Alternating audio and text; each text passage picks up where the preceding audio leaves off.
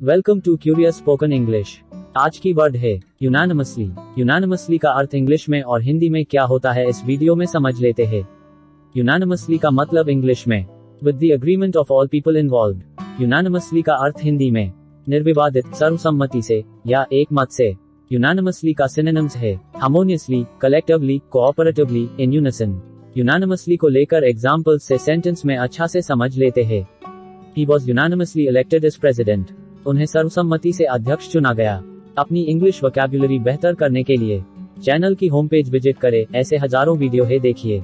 ऐसे वीडियो देखने के लिए चैनल को सब्सक्राइब करें। Thank you for watching